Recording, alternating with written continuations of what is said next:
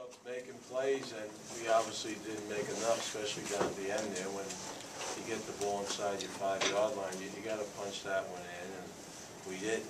Uh, But then defensively, you have to stop them, and we didn't stop them there. So that, other- otherwise, I thought the effort was good, I just, from a responsibility standpoint, we just gotta make more plays on defense and offense, and, and, uh, again, penalties, you know, got us in some trouble out there again, but, uh, as I told the players, that the effort was good, uh, it's just that you, when you have the opportunity, you gotta make plays, we didn't do that, that, op- when the opportunities present themselves. With that, any questions? Seemed like Nisley was breaking open on the fourth down play, but Jeff got some, some pressure on the inside.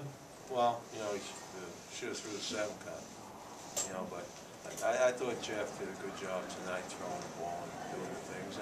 And it's just that, you know, you, uh, we, we gave up too many big run plays on defense, I thought, and then, uh, uh, too many missed tackles. I mean, especially in that last drive for the touchdown, there was a bunch there, and, and, and you can't do that. You know, you, four tackles, you know, it's not gonna get you deep, but missed tackles do, and, and, uh, and that, from that standpoint, you know, and tough loss, you know, we, we had an opportunity to put points there at the end, and we didn't get that done.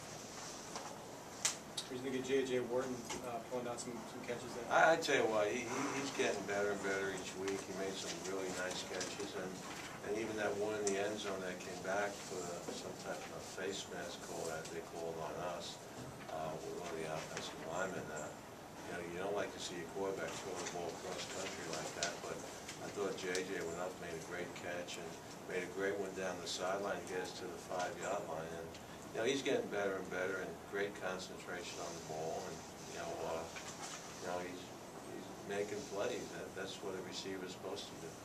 The defense held them to field goals three different times. Can you talk about the way they played throughout the game? Yeah, yeah, but we, we didn't play very well def- uh, run game wise tonight, you know, there, was- there was too many runs that should have been stopped at the point of attack, and I didn't think the tackle was very crisp, and, you know, uh, and, and you can't do that, especially as they ran the ball little there, that it opened up the passing game and the boot game and stuff of that sort, but, uh, but, you know, as I said, I, I didn't see a lack of effort, I just saw, you know, kids that gotta make plays in the open field, you gotta make them. I mean, the quarterback, uh, ran the ball three or four times, where I thought we were gonna tackle him, and, and uh, again, he's a good football player, their quarterback, and he made the plays when he had to make them.